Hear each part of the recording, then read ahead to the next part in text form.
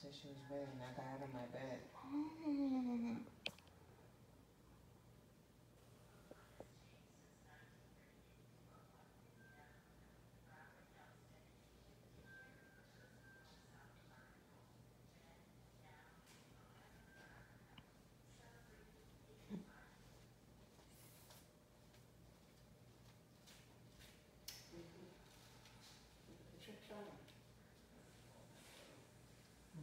Pretty good, no?